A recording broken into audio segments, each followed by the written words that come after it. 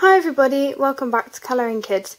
Today I'm going to be doing my completed pages video for April. These are probably the videos that I most look forward to uh, to make because they're so fun and I um, and I'm really excited because I have a lot to show you for this month. Um, because I had my Easter holiday from the 5th to the 23rd of April, I had quite a while to colour. Um, not, you know, every every single second. I was busy on some days. Um, but yeah, it was really nice to have a bit of extra time to colour and I've noticed this week I've literally got no colouring done. I didn't really get much done last week, um, obviously because I'm back at school and things and I actually noticed um, the, the difference in how much I was colouring. So let's just get started. So the first book is 100 Hugs. Really, I'm really upset. I, I've only done one page in this and I did this towards the end of March and I think it's because, I don't know why, because these are so simple to do. Um, you know, if I'm watching a TV show or something, I can just get one of these done. But I think it's because I've been working on other things. I didn't then want to start something else. Um, but the only page that I've done in here, take the poster off without me ripping the page would be good, um, is uh, these elves.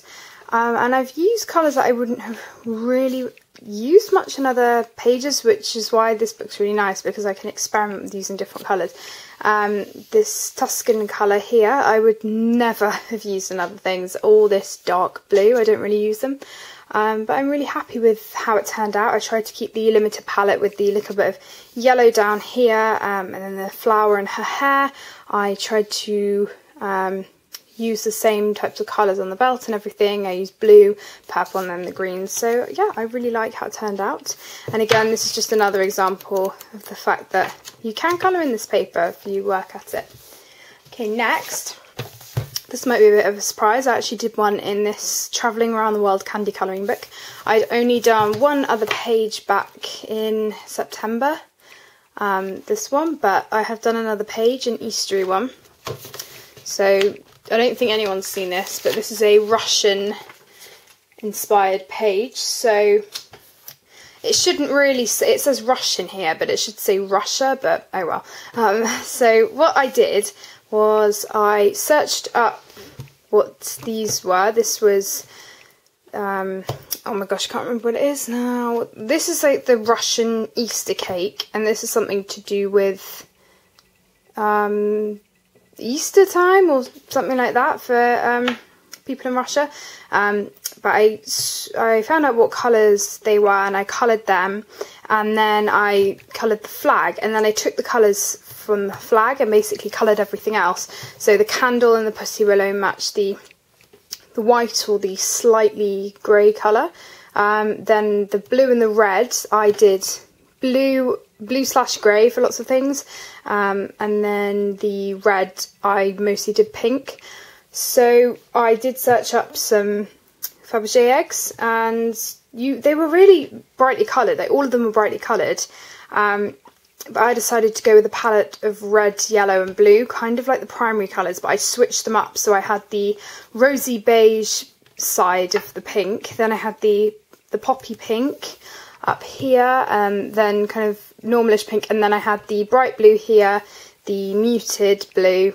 So this was all Prismacolors, I think. Um, yeah, and weirdly for me, I actually used some metallic um, gel pen, which I never use in colouring books. So it's really nice to experiment with this. I outlined them all and did little embellishments, and I'm really, really happy with how this turned out. I never, you know, if I use gel pen, I use white gel pen or glitter. So I didn't use any glitter on this page, but I did use the metallic and the white. So that's that one. Um, I wasn't going to include these, but uh, one of my lovely subscribers, Fraser, asked if I could include um, these mandalas. Now, for me, this was just marker colouring. This was um, no shading. It was just stuff that I wanted to do when I had a spare moment, but I kind of just wanted to colour and I didn't want to um, do things with detail in them. So I did three of these. I did two of them during the um, holiday um, because I'd just been doing detailed stuff and pencil work and I wanted to use markers because I never use them. Um, so this is a double-sided book, but I've decided to just work on the ones on the right side unless there's a one I really, really want to do on the left side, but I have allowed myself to let them bleed through. So for all of these, I've used a mixture of Bic markers, Sharpie markers, metallic gel pen, metallic Sharpie, um, and gel pen. And that's neon and glitter gel pens. So this was the first one I did. As you can see, very, you know, very simple, but actually it was very relaxing and I liked it. So I've used the silver metallic Signo, I've used a metallic purple, some gold Signo, um, some neon pink as well, so that was fun. Oops, then I did this one, you might have seen this in a stream, not a stream, sorry, um, my vlog that I did. If you would like more of those, please let me know. Um, again, this was, you might not be able to see all of the glitter accents, but we have the metallic gel pen, blue glitter, I don't think you can see, I'm really sorry about that. Oh no, you may be able to see. Um, orange and yellow accents. Uh, and yeah, I again really enjoyed that one, going for more tropical theme on that one. And then this one, which I recently just did the other day, literally on, it Saturday or Sunday? Either Saturday or Sunday. Um, again, same thing. Um, and yeah, I like this one. And this was a slightly lighter palette than the first one that I did. But these ones are just really simple. And for me, I don't class them as the best thing I've ever done. But I kind of look back on them as being something that I just did. And that I'm actually, you know, that it will just be a book that I have. You know, even if I go out the lines, it's just meant to be fun. Sorry if the camera just shook there. Uh, it's just meant to be fun, so I don't really mind if it doesn't, you know, if there's no shading or anything like that. I just, yeah, quite enjoyed those. Um, for exact, for, you know, when exams come up, I think they'll be really useful. I have a whip in Timeless Beauty Special, uh, the Colouring Heaven one. This is all of the Momo Girl um, artwork, and this was from Susie, sent it to me last week for Happy Mail. Um, and I've started the first page. Now, I've only done her face, but I've written down all of the colours that I used. This was with the Holbeins, and I followed Sammy's tutorial on how to do um, the skin on this exact page. Uh, and I've written the method down and everything like that. So I'm going to come back to this and finish up her skin um, I might follow the hair that Sammy did, but I'm not sure. I might do my own stuff, but I'm I'm actually really like how it's turned out. I think the definition and her face is is quite good. Um, and for any of you who don't know, the first time I tried skin, um, I did it in Daydreams, but I had to take the page out because I didn't realise with my electric eraser that the metal then scraped against the paper took off the surface of some of the paper by her nose and then I couldn't go over it with the pencil and it looked terrible. I'm not joking. I literally ripped through the paper.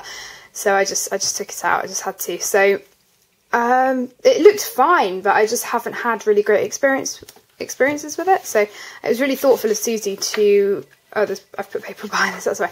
It's really thoughtful of Susie to send me this book so that I can practice my skin tones. Because um, I think when I get more comfortable with it. Especially with these realistic pictures, it will be great for my future colouring.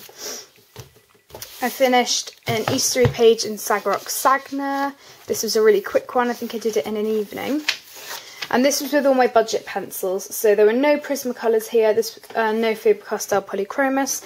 This was all um, Faber-Castell Eco Pencils and Faber-Castell Classic. And I think it turned out great for budget pencils. And it just proves that you can do stuff with um, the inexpensive pencils.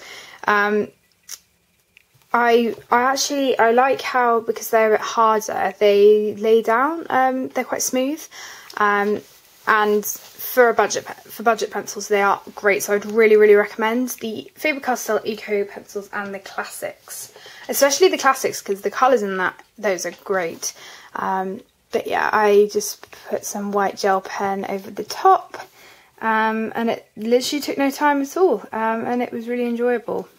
So there's that one.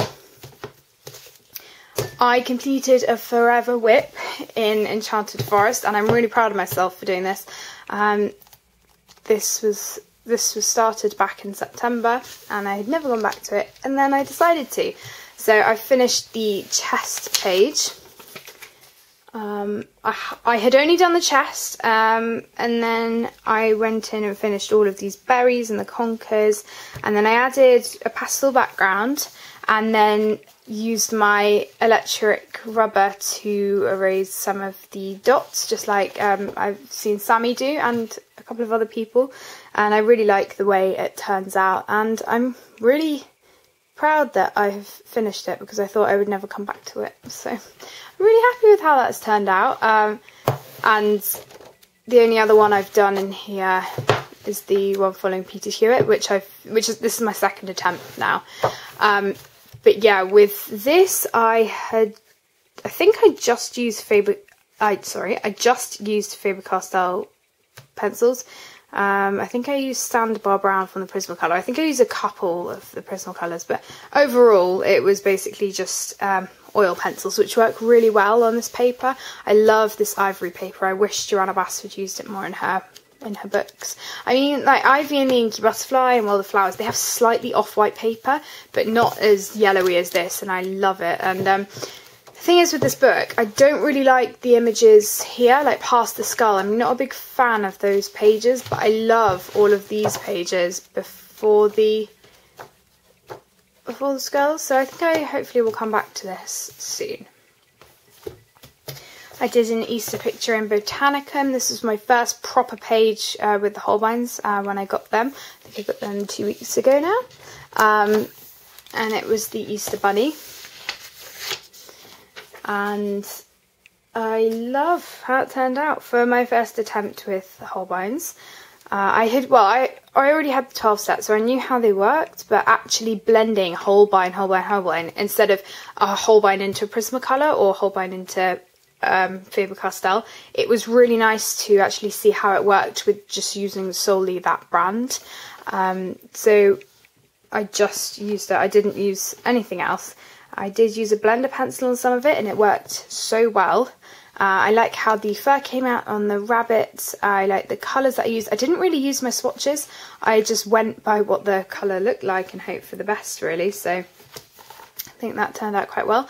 I've put uh, my Wink of Stella and my clear glitter stardust pen on the butterfly, um, white gel pen, and yeah, I really really like it, especially the crocuses. I like the folds in the crocuses and how that turned out. So yeah, overall, I'm really happy with this one.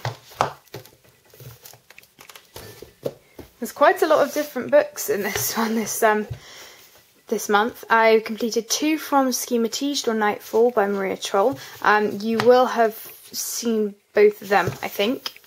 Um, so the first one I did, I completed while we were away, right at the beginning of the holiday. Um, this was a whip since uh, from December. All I had left was all of the leaves and the stalks of the sorry, all I had done was the tops of the mushrooms and these purpley blue flowers and then I needed to do everything else but to be honest it didn't take very long all I did when we were away was these little creatures here and then the butterfly that was it so I put uh, again Wink of Stella and my clear glitter star stardust on those and my white gel pen and yeah I, I I do like how this one turned out, and the paper in this is amazing. So when her new book, Flora and Fauna, comes out, I'm not going to get it.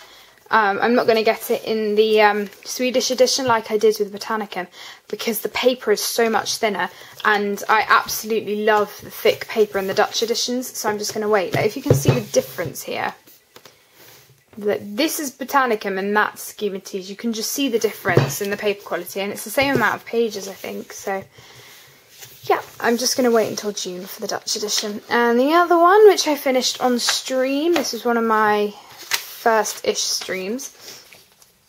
Um, all I had done, I think, was the the bunny, um, and a couple of other things, but I'm still contemplating whether to put white gel pen on the flowers on the dots, but I think I'm going to leave it because I really, really like them. Um, and yeah, I just, I really like it. Um, again, I put glitter. Oh gosh, I'm not going to be able to show you because the light isn't in the right place. Um, you're probably not going to be able to see. I'm really sorry. Anyway, I again put Wink of Stella and my clay glitter stardust pen. See, I can see it, but you probably can't. That's really annoying, sorry. Um, but yeah, I really, really like this one. And I prefer the black background pages as well, I've found with um, Maria Chaw's books. So there are my two pages from that. I completed two pages from Dream Wreaths. Now, technically, the Anemone Wreath one um, I completed right at the end of March, but I did my video a bit early last month, so I hadn't done the actual anemone flowers. So this is it finished. So you basically saw it finished, but you hadn't seen these purple flowers, and I love them. I used um, one of my Holbeins, my you know the wisteria one that comes in the 12 set, um, and then my Faber-Castells just the classics and the ecos, I think. And then I use the Caran d'Ache full stick blender because they blend it really, really nicely on this paper. Again, it's a black background and I love it. Uh, the only places I put glitter, again, were on the butterflies. I'm really sorry, I'm not going to be able to see. Can I? I'm really sorry, I don't think you're going to be able to see. Oh, you can on that one. But yeah, that's that one. And then I also finished Vivienne Her Room, which took ages. I finally finished this when I was away last weekend. Um, and yeah, let's just say it took longer than it needed to. And because it was such a busy page, I'm not fully happy with the colour palette just because there was there was so much so I didn't really know what to do so I just did it and yeah, I'm still happy with it. So the yellow table here, I wouldn't have done really if because I don't I didn't really know what I was doing with this page because it was so detailed. The bed I like with the purples and the pinks that match the chair. Uh, the green carpet matches, which you know is okay. Again, um, rosy beige colour. The yellow, it's fine. You know, I, I like the overall outcome of this page. I love the curtains because it does um, make it look as if it's see-through because it's got the little bit of blue. If you would like a tutorial on how to do this, the thing is, I don't have anything else with curtains and I'm pretty sure. Um, unless I can find a... Unless there's a page in here, but I'm pretty sure there's not. Yeah, I'm pretty sure there's not, but I really liked the way um, the curtains turned out. Yeah, there isn't. Um, so I would have to find a picture of curtains, but I like how this one turned out. I'm not sure if I'm going to carry on with this one and do it in order or whether I will skip. So um, yeah, we will see with that one. Um, I'm going to show Fantastic Zoo last, just because I've got loads and loads and loads of pictures done in that one. So I'm going to show you World of Flowers first. I've actually got through these pretty quickly, which is good, because I know some people don't like really, really, really long videos. Um, and also it takes ages to upload, so I don't want it super long. But this will be fairly long anyway.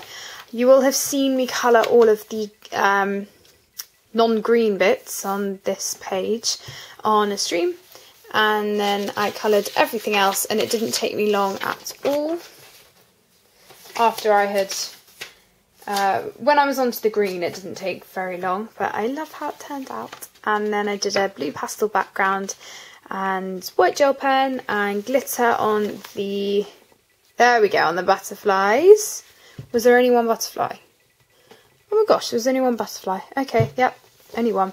My favourite, favourite flowers um, in um, on this page are these ones. I love the way I shaded uh, shaded them.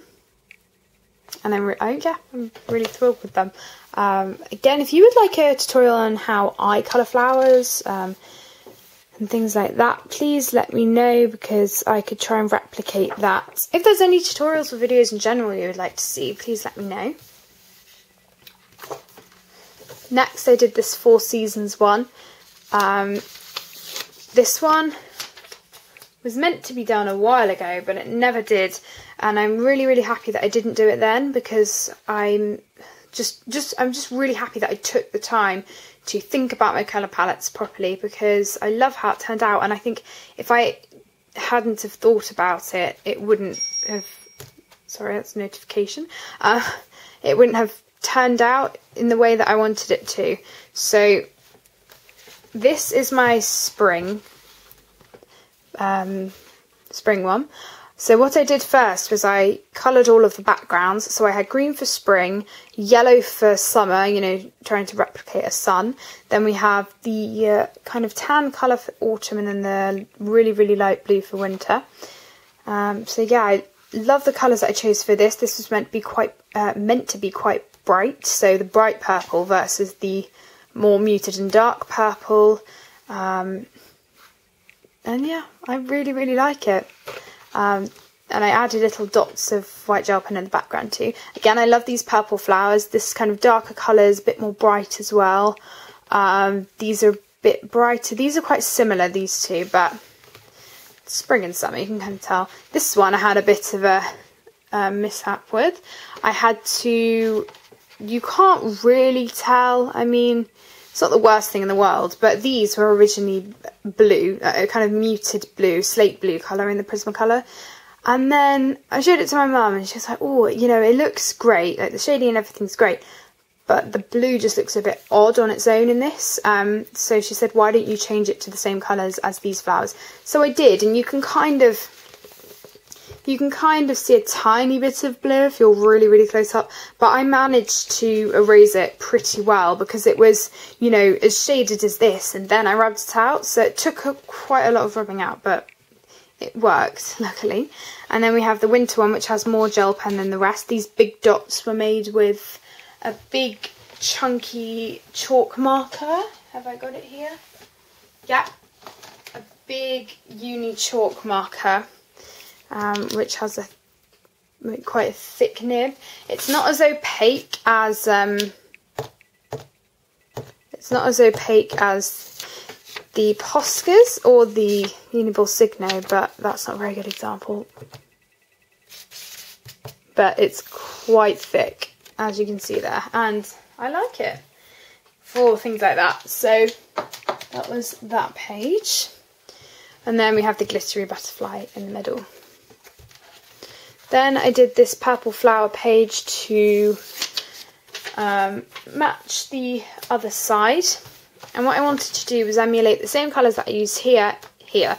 So I knew I wanted these to be purpley blue, um, and obviously these flowers were pink, so and these were purple. So I thought, well, I'll have purple butterflies and purple flowers here, and then I'll have pink flowers and pink but butterflies here. So I've got pinky, peachy butterflies to match those flowers.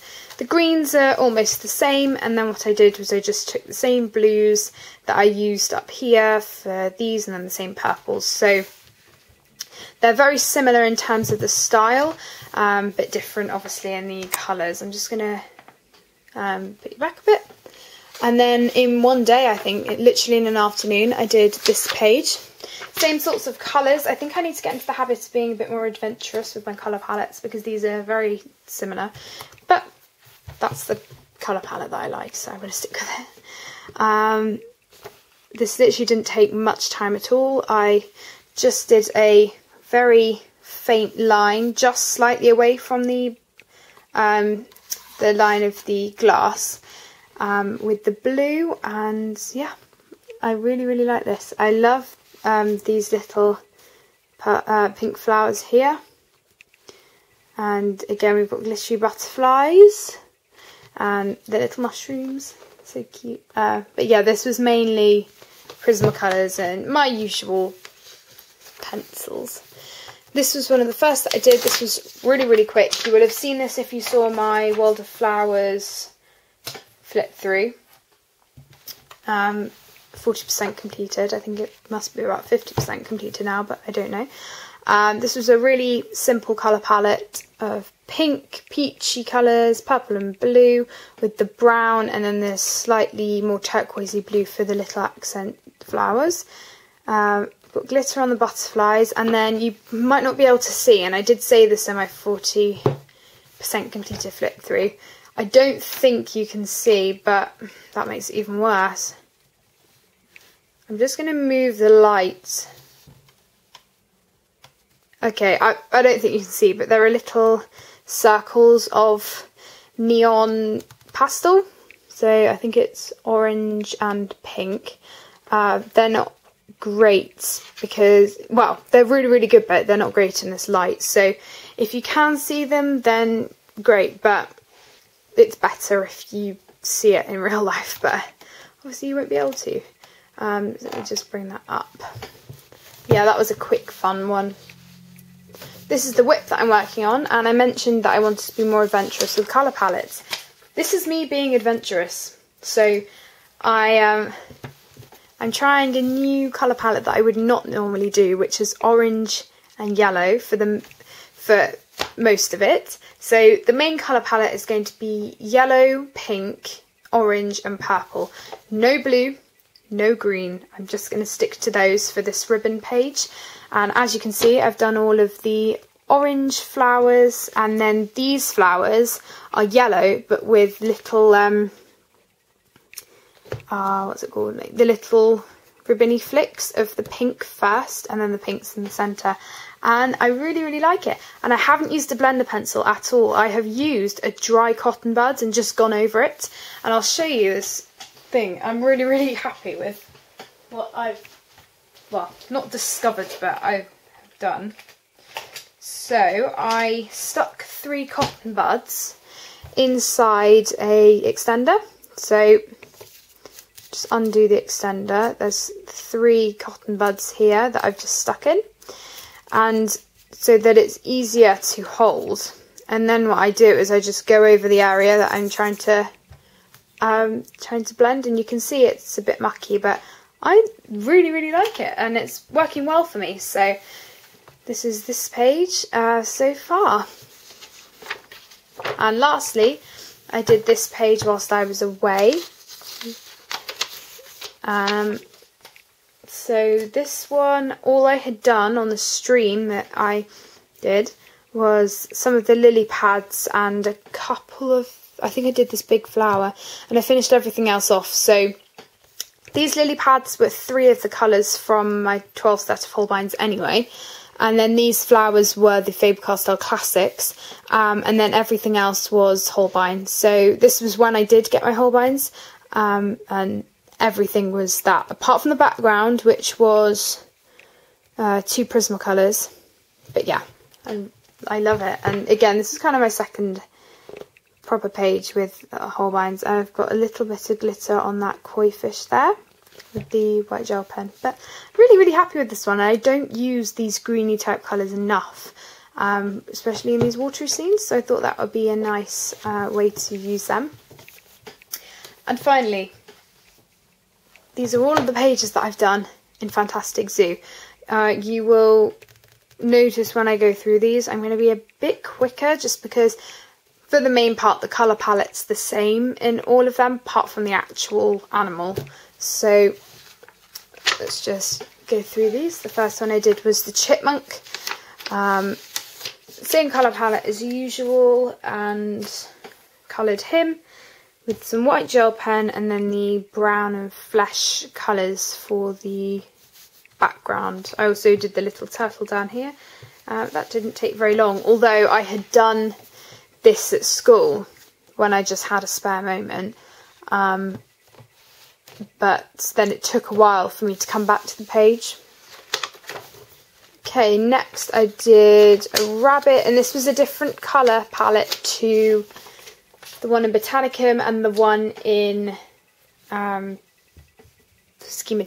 So this is cool greys, and the ones that I did before were French grey. So I'm even though there's all bunnies, they're different colour palettes. Uh, so this one was cool grey colours with my Faber-Castell Classics and Ecos. This was all Classics and Ecos, even the, um, yeah, sorry, uh, apart from my original colour palette, of course. Um, and then I just did um, some neon pink and blue, blue? What? Grey pastel in the background.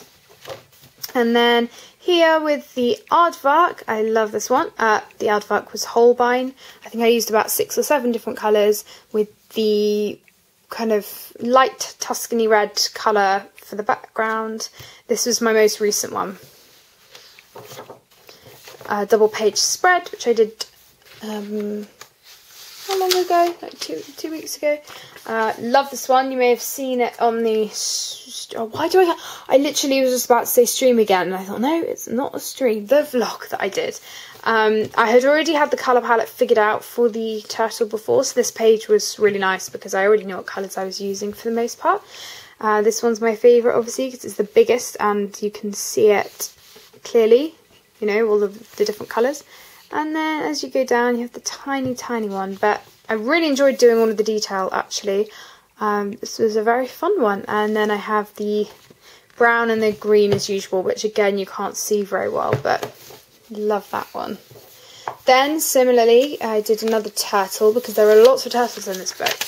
Um, so we have the box turtle.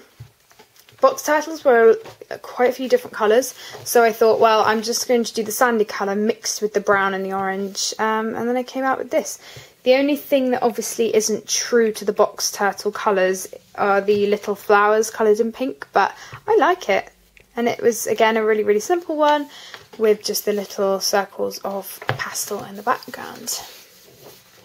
I did an ostrich which matches my kiwi now, which I'm happy about. This one took a bit longer. I had literally just done the house and a couple of the things up here at school, and then I had to do the whole thing. And this was Holbein, was it? Was it? Um, I can't remember. Oh my gosh. Yeah, I think this was Holbein. I'm pretty sure. If it's not Holbein, then I'm confused. it was either Holbein or my usual Prismacolors and Faber-Castells, but I can't remember whether I did it before I got the pen new pencils. Um, either, either one. Sorry, I can't remember. Um, but I think it was a mixture of about seven or eight colours, and then, yeah, I just did it with some white gel pen and everything and it matches with my kiwi which I'm really happy about so yeah it's that one. The aquarium one you will have seen as I was finishing it for part of my stream with my Schematige rabbit. Um, I literally just had to do the pastel background and then a few of the fish. This didn't take long at all and I love how it turned out. And obviously it's a double page spread and it was literally so simple to do for a double page spread so that was fun this one I've only just started. I literally uh, was working on this for a couple of minutes yesterday. Um, on the bubbles. This is going to be a long, long, long, long project, but I'm looking forward to it. Um, I love the style anyway, so it doesn't really bother me too much. Um, and I think these flower fish are mainly bright poppy pinks and oranges and purples and blues. So for me, this is going to be quite fun experimenting with the colour palette and seeing where I want to use the different colours. Um, and I love, I've loved colouring the fish in here so far, so I'm looking forward to doing this one. I'll probably do lots of the details first, but we'll see. And then the first one that I did, but weirdly it's the last one that I'm showing you, um, is the seahorse. And I did this on my first ever stream. Not the whole thing, I just did a few of the flowers and things like that. Um, and Honor colours along with me for that stream and then she emailed me the picture and it's lovely. Um, and I really like how this one turned out. Again, the seahorse was all Faber-Castell Classics and Ecos. Um, but it's just really fun doing these sorts of pictures. Just quite simple. Can't wait to do the jellyfish.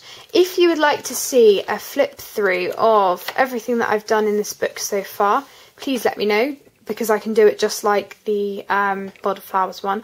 I will do it once I've coloured a few new pictures though because I don't want um, to just do a flip through now because you've seen all of the pictures. So I'll, I would wait probably about a week or two until I'd done a couple more pictures.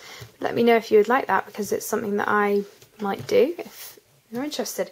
So yeah, that's everything that I've done. You can see I have coloured in quite a few different books.